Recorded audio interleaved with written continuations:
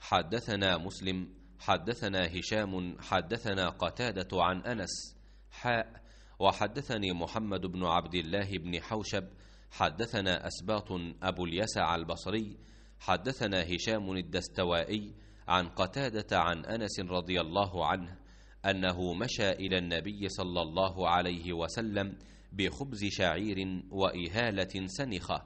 ولقد رهن النبي صلى الله عليه وسلم درعا له بالمدينة عند يهودي وأخذ منه شعيرا لأهله.